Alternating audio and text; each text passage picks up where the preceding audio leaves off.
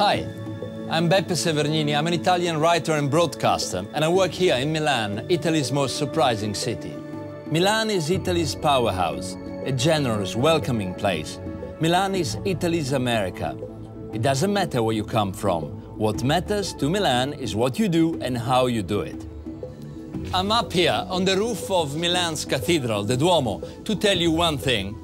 The beauty of this place is not Milanese or Italian or European.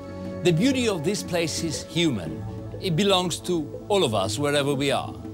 Whoever constructed this stone wedding cake to the glory of God, setting a gold Virgin Mary, the Madonnina, up there to look out over the Po Valley to the Alps, was hoping this masterpiece will be enjoyed by future generations.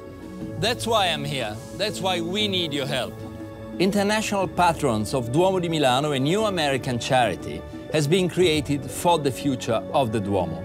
Around me there are 135 spires and 3,400 statues of Candoglia marble. Today, one of those spires needs your help. It's the spire dedicated to a humble Italian woman, Saint Francesca Cabrini. At the beginning of the 20th century, she crossed the United States of America, caring for the poor and those in need of help. She was known as La Madre degli Emigranti, the migrant's mother. Francesca was a brave, modern woman, a symbol of freedom, a citizen of the world. We have until December 22nd to raise $180,000. Eataly says that the arts are food for the soul, and he has already helped.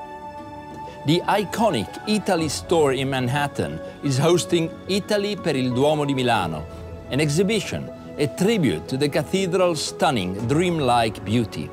Adopting the Francesca Cabrini spire is an act of love. And it's simple. Just go to foritaly.org. You can help. Your name will be remembered. On the website, of course. And if you want, your name can also be engraved on a special plaque underneath the spire. There are going to be rewards too. Milan has done a huge amount for me and for all Italians. This is just my small contribution to an amazing city, but yours is so much more important.